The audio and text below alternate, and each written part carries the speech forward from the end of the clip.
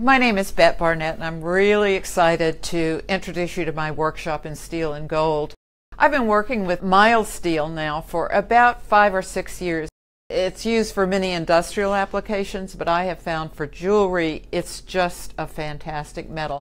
One of the things my students always tell me at the beginning of a workshop is, I'm taking this because I want to add drama to my work, and this is a beautiful way to do it.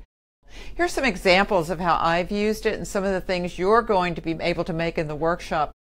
This is an example showing gold that's actually been melted. It's actually been fused to the steel.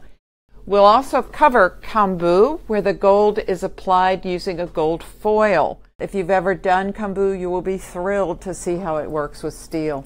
In terms of the skills that you're going to need for this workshop, it seems like it's a pretty advanced technique, but if you have basic metalsmithing skills, you're going to be fine with this. In terms of torch skills, it's important that you have basic torch skills because we'll be working with really high heat.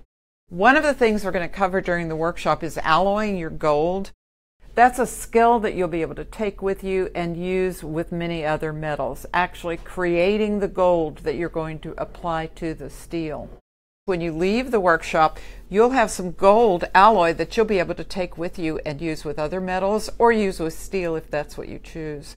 I'm particularly excited to be here in the studio at the creative side. Each individual student has a workspace, has a torch, has a flex shaft, so you'll be able to go right into the skills.